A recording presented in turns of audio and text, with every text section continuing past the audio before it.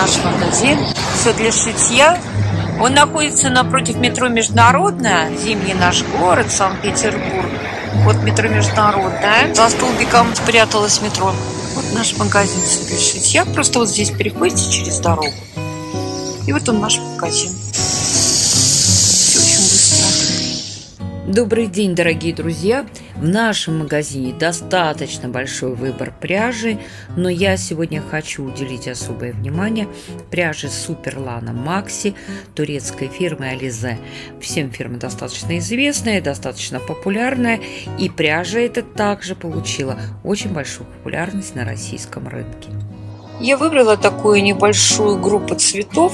Сейчас попробуем ее повязать посмотрим, что получилось у наших девушек. У нас она, в принципе, эта пряжа в продаже уже 5 лет.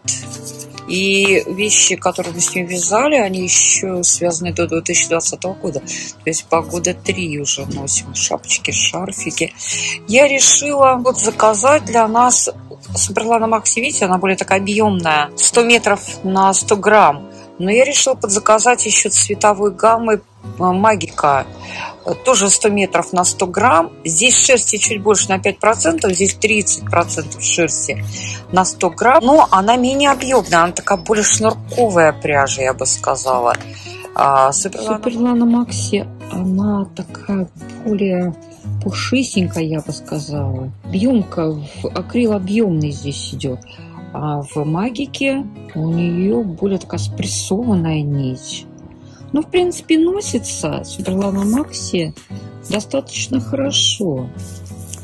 Да, э, сказывается то, что в ней большое количество акрила, в принципе, не очень дорогого акрила, но и этот акрил и не самый плохой. Для бюджетной нитки очень даже все неплохо. Вяжется она супер легко, супер хорошо ложится. Наташа связала, наша продавец, себе вот такую шапочку – а, из Суперлана Макси. Ну, я же сама за один вечер. Достаточно легко. Сколько у тебя, Наташа, ушло пряжи? Ровно один моток ушел на шапочку. А шарф у тебя длина какая? Ты мерила его? Нет, не мерила. Он, наверное, где-то полтора метра. Полтора, да, ну, я вижу уже. Три, три мотка вот ушло у него ну, ширина. Можно, конечно. И он большими спицами связан. Десяткой, по-моему, да? А? Девяткой. Девяточкой связана. А шапку каким ты вязала? Семерочкой? Семеркой Наташа вязала. Шапочку, что очень правильно. Если мы хотим более плотный трикотаж получить, то мы берем более тонкие спицы. Если хотим мы получить более рыхлые, то, соответственно, берем побольше спицы. Что для шарфа? Шарф должен драпироваться. Шапочка, конечно, желательно такой формы, чтобы она сидела достаточно формованно. Сейчас попробуем повязать крючочком. Если мы из этой пряжи хотим более плотное вязание, конечно, мы возьмем крючок восьмерочку. Можно даже 6 но хотелось бы сохранить объем, если не сохранить объем, а, взять шестерочку, то ну, вязаное полотно под крючком может дать достаточно такую заклепанность. Возьмем светленькую ниточку, восьмерочку. Здравствуйте, с праздничком. Спасибо, вас тоже. И вот смотрите, какая косичка хорошая, объемная получается. Наши покупатели нас с праздником поздравляют, забегают. Смотрите, как хорошо у нас суперлана ложится под крючочек. Как пушистенько получается. Конечно, если вы хотите, чтобы было более зажатое начало, это надо на скользящие петелечки делать. Так вот так мы делаем. ниточку захватываем рабочую. Вот как я всегда это выкручиваю, понять сама не могу, честно вам скажу, как я это делаю. И мы начинаем одну воздушную петлю надо было сделать, обвязывать кольцо, которое потом, мы затянем, если мы хотим сделать чтобы у нас сначала было такое... Не было кольца в серединочке, дырочки, дырочки. Если мы не хотим, чтобы она была. Я сейчас покажу на скользящей петле, как это затянем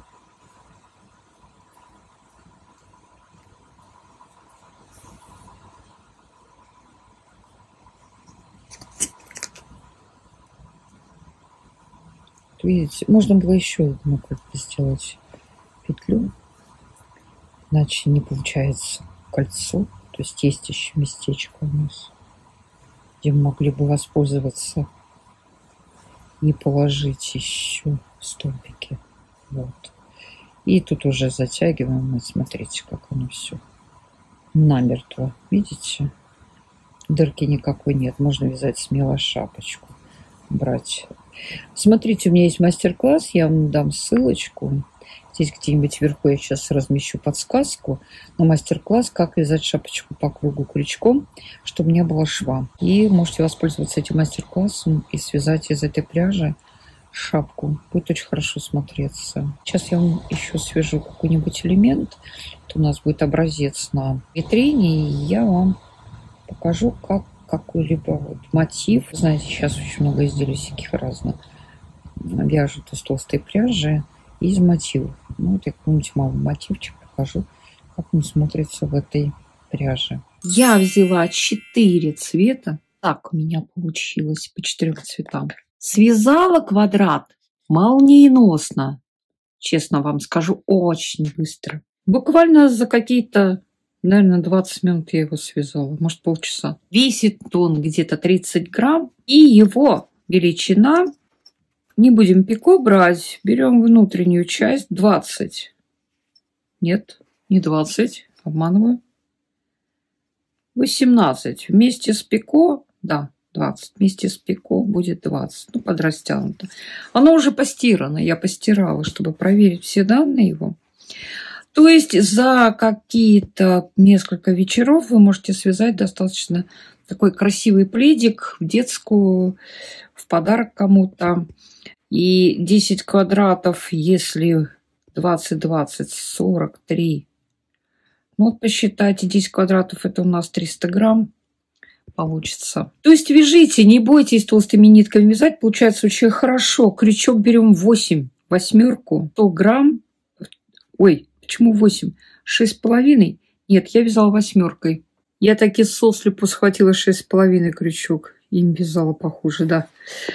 Что я вам хочу сказать, берите восьмерку, он у вас и больше получится, и более мягкий трикотаж. Я уже шестеркой, ну вот сослепу схватила. И чувствую, что он, знаете, такой жестковатый. Ну, ну как восьмерка и жестковато получилось. Ну, мало ли. Нет, это я такие шесть половиной взяла, на радостях хапнула. Наберем 8 воздушных петель. Что в этом квадратике у нас будет самое сложное? Десятку наберем, 10 я набирала. 3, 4, 5, 6. Вот расслаиваются нитки, это понятно.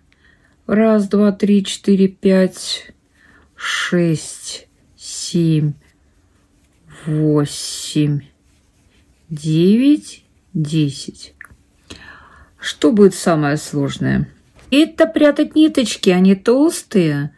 Но, как вы уже обратили внимание, вот это у меня изнанка вообще-то. Она мало чем отличается от лица. То есть, кто боится, что ниточки мы не спрячем, мы их спрячем. Очень даже хорошо попрячем. Вот здесь, видите, можно было эту ниточку так вот убрать, чтобы и этой нитки не было. Но вот честно вам скажу, ничего мы идеально сделать не можем. Поэтому не заморачивайтесь, не углубляйтесь во всякие такие детали, которые не создают общей картины и ничему особо и не мешают, а наоборот даже как-то создают некий такой асимметричный диссонанс, который, и, которым и интересна ручная работа. 10 набрали, смыкаем здесь, начали. Как вот толстые нитки, вот говорят, толстыми нитками легко вязать. Вот кто сказал, кто? Вот к чему привыкнешь, там тебе легко вязать. Видите, вот для меня толстые нитки. Я всю, во-первых, я всю грязь вижу намного больше, чем если бы я вязала тонкими нитками. Теперь раз, два, три, четыре, четыре воздушные петли. Раз, два, три, четыре сделаем. Вот опять расслоение идет, опять мы ее забираем. Раз, два, два накида, обхват пошел. Делаем столбик с двумя накидами, не довязывая столбик, с двумя накидами, не довязывая и протягиваем полностью ниточку, прихватили мы ее, расслоили ее. Мягкая скрутка здесь больше, крючок, потому что нужно 6,5, маловат для этой нитки, поэтому и прихватываю, расслаиваю. Но раз первый уже квадрат я связала 6,5, вяжем и этот также. Раз, два. И вот так мы с вами сколько делаем? Раз. Ой, мамочки. Не довязываем. И опять в обхват не довязываем. Почему не советую делать на скользящей петле? Во-первых, потому что жесткий нужен, жесткое основание, центр – Э, потому что это будет у вас плед. Ну, в принципе, де хотите, делайте на скользящий. Кто смотрел мои мастер-классы, знает, что я ее не люблю использовать. Только в самых таких уже, ну, необходимых случаях.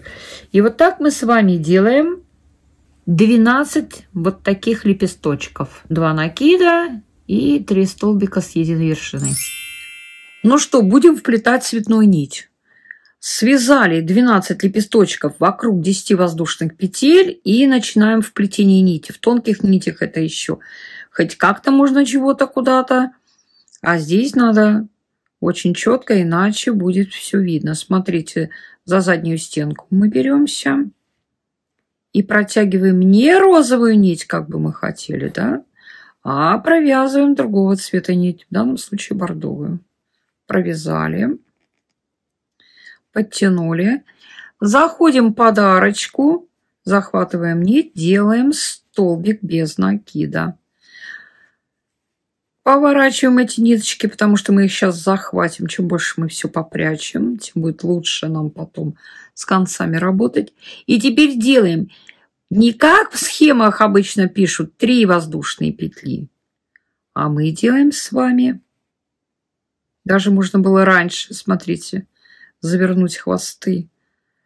Чего это я про них забыла? Вот так. Вот хвосты уже, когда протянули бордовую нить, хвосты уже спрятали.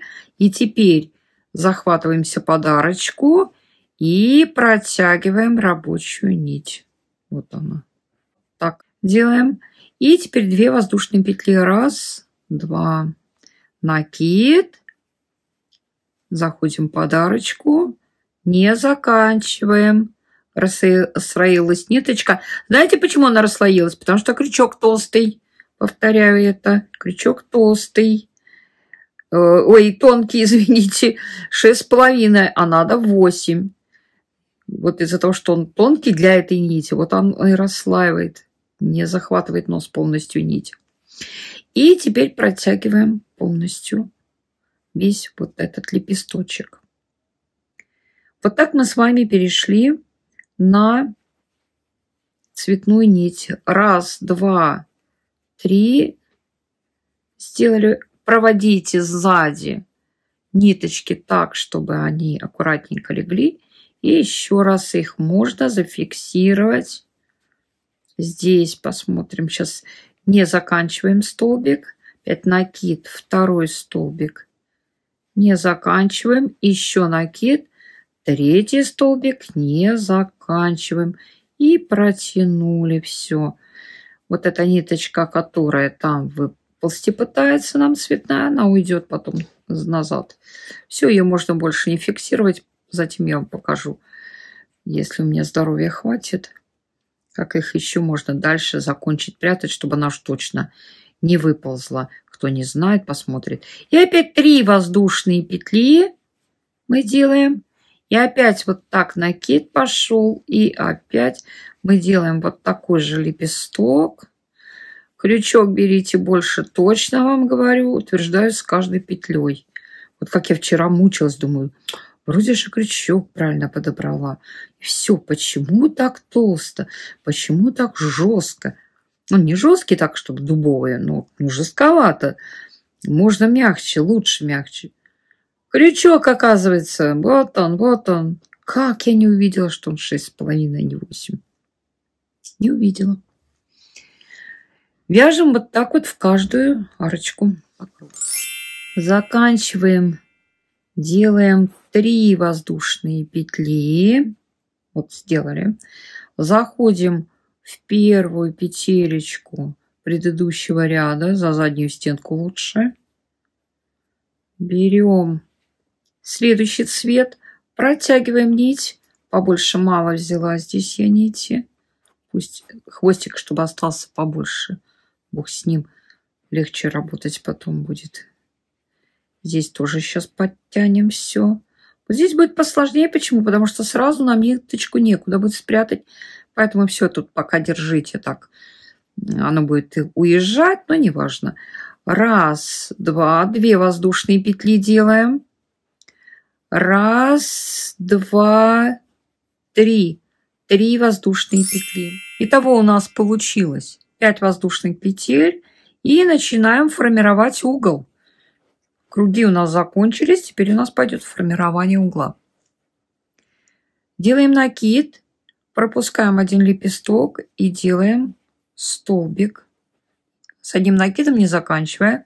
Второй с одним накидом не заканчивая. Третий с одним накидом не заканчивая. Все, вместе пропустили. Теперь здесь очень важно. Две воздушные петли. Именно две. Накид. Следующий такой же лепесток делаем. С одним накидом и одной вершинкой три столбика. Вот так же, как и делали. Вот теперь очень важно 4 воздушные петли. Раз, два, три, четыре. И вот эти четыре воздушные петли, это и будет у нас самый торцевой угол. Делаем накид и продолжаем опять же делать лепесток, как и делали. Вот он у нас. Раз. Две воздушные петли, так как делали вот здесь. И опять лепесток.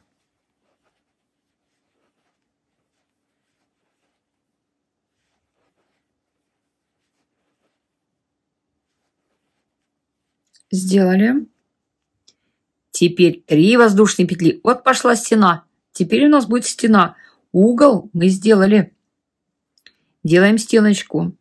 Раз, два, три. Делаем один накид. И в центральный лепесточек, следующий, делаем столбик с одним накидом. Вот такая картина.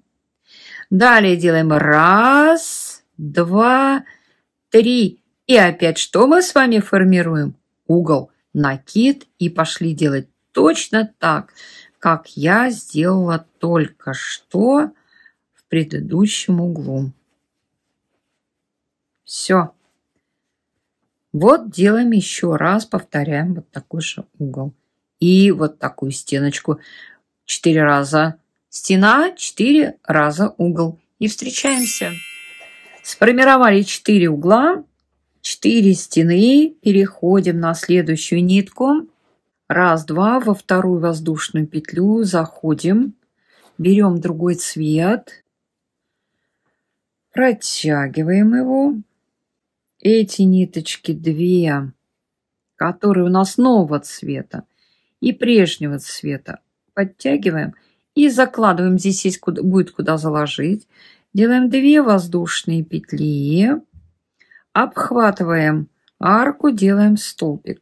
Ой, мамочки, куда я тут улепилась. Так, сделали. И смотрите, какая здесь закономерность. Если у нас в предыдущем ряду было... Так, надо вот здесь как-то мне подтянуть. Что-то... Хаш мне это не нравится. Ну ладно, пусть будет каша. Сейчас посмотрим, что у меня здесь. Где начало, где конец. Здесь явно начало. Но почему-то нет никакой такой каши. Видите, я начало вижу за счет чего. За вот это вот, за этой ниточки, которая у меня выскакивает здесь. Так, в предыдущем было 3 воздушные петли, значит, в этом ряду будет 4. Можно и 5 сделать, но я боюсь, фалдить будет. Делали один столбик, второй. На втором столбике делаем пико. Раз, два, три. За одну ниточку здесь достаточно столбик. Дальше опять раз, два. Два столбика. Перепрыгиваем. Здесь было две воздушные петли, значит три делаем. Раз, два. На, на втором делаем пико. Раз, два, три. Сделали пико. Сюда же делаем еще один столбик. Теперь у нас, где у нас 4 было, мы делаем 5. Но как мы делаем? Раз. Внимание здесь. Два. На третьем мы делаем пико, но пико у нас из пяти воздушных петель. Раз, два. И вот смотрите, кто не смотрел мои видео, посмотрите или смотрите сейчас. Если мы будем присоединяться, если мы будем делать одно полотно единое, я просто не хочу его сейчас делать, мы возвращаемся вот в этот столбик на третьей петле. Мы протягиваемся, делаем еще раз, два и делаем пику. Вот так. Вот. Вот мы начинаем соединение.